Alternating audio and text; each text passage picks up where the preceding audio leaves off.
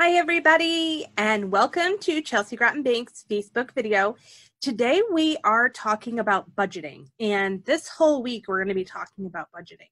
Today, we're going to start um, very small. We're going to be talking um, about your income, how to identify your income, and the things that you might need to do before you sit down with paper and pencil to do your budget. Um, so before you sit down with paper and pencil to do your budget, the first thing that, that you should do is track your spending. So the easiest way to track your spending is to pull three months of your bank statements. So um, get them out um, all three months and um, get a couple of different color highlighters. So this is the best way to, to do it so that you can see over the course of three months how much you're actually spending in different categories. So um, if you look at one month, it might not be predictive. If you look at two months, maybe not. But if you look at three months, you're really looking at a quarter of the year of your expenses. So that's a really good and telling way um, to see how you're really spending your money. So you're going to crack out some highlighters, and this is what you're going to do. So the first thing you're going to do is highlight everything that is a debt. So um, your mortgage, your car payment, all those bills that you're paying, um, the credit card debts, um, bills that you're paying every month, um, Netflix, like whatever it is, you're just going to highlight all those things. Um, it can be one color. Make sure it's all one color. So if you choose yellow, um, every bill that you're paying every month should be in yellow. Um, the next thing that you're going to do is crack out um, a different color highlighter. So a pink highlighter. And you're going to highlight um, all of those other expenses that are necessary um, grocery store trips, gas, um, you know, whatever it might be, things that you would normally budget in. Um, doctor's visits, if that's something that you budgeted and you had to pay a copay. Um, so those types of things that are necessary expenses um, that you would be paying every month. So that's so now we've got maybe yellow for our debts and the bills that we pay every month. We have um, pink for things that are like grocery store trips um, that are uh, um, gas um, and and those types of bills. Now, our third color could be blue, and that is going to be everything else. And everything else is a personal expense. So if you went to the hair salon, personal expense. If you went to the movies, personal expense. If you went to Walmart and it wasn't for grocery shopping, personal expense. So everything, Dunkin' Donuts, whatever it might be, eating out, those things are all personal expenses and would be your third color. So really, um, that's going to let you look at your statement and say, okay, these are the bills that I have that I have to pay every month regardless. Those are all in yellow. Everything in pink are other expenses that I have every month that I need to pay groceries and gas. Everything in blue, that is what I'm spending that is outside of my bills and other expenses that I have. Okay, so you're to look at that. That's not bad. Okay, please don't freak out when you look at the blue. It is more than likely going to be a lot of money. Okay, so that is where um, people get very surprised. So uh, don't freak out just yet. Uh, um, but it is very telling, and you most times people spend more every month in personal expenses than they even uh, realize. So highlight up all those things, um, and, and then you're good to go. So the other thing that might be on your bank statement would be your income. So you could highlight those in green, okay?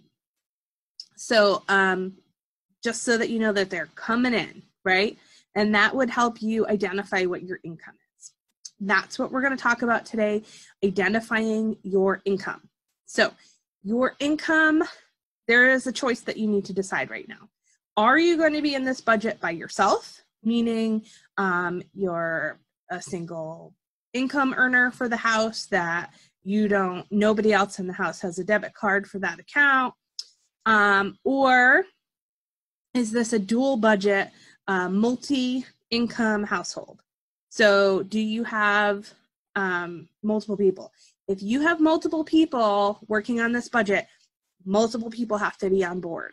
Um, one person can't decide they're going to do a budget and, and, just do it because the other person is going to tank them um, without before they even get started, not meaning to, um, just because they've gone and spent some money that that wasn't budgeted for.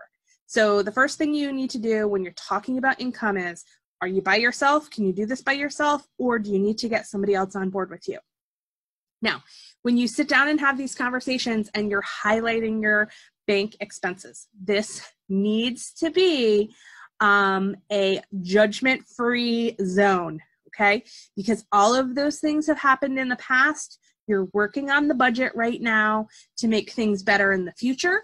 So, whatever may have happened in the past, um, this is not a good time to fight about it, right? Because that's it's already happened. We can't get that back. We're working on the future. We need to do it together. Um, and making sure that we are on the same page doing that together. Um, that way, um, both people that are putting this budget together can feel free to have an open dialogue about this budget. You don't want one person shutting down because they're afraid that um, the other person is going to get mad. That's not going to be helpful. Um, when you're doing your budget, you really need to be completely honest with yourself. So, um, somebody like me who has a weakness for shoes really needs to understand that.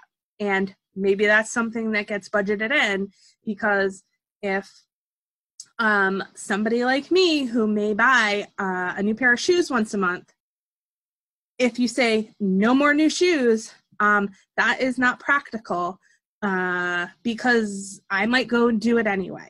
Okay. Um, if I, I might say, all right, um, I'm cutting my shoe budget in half.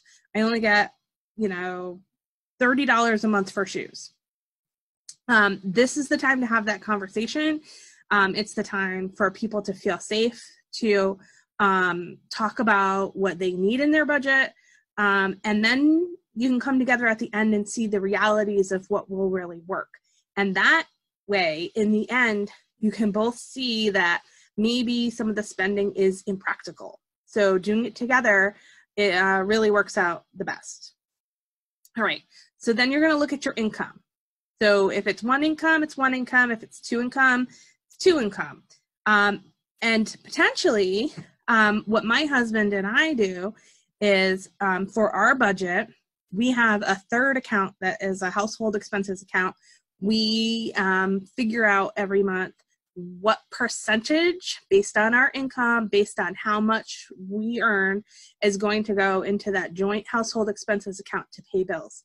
So it may not be a 50 50 split. If one person earns a lot more money than the other person, maybe it's 80 20, maybe it's 60 40.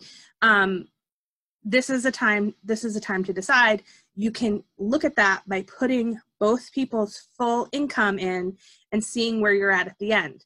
If it has to be 50-50 if it's everybody all in like all your income has to go in then um, then that's what it has to be. But it may not have to be that way um, especially when you get to the personal expenses piece. Okay but we're going to talk about personal expenses another day, so you'll definitely want to turn tune in for that.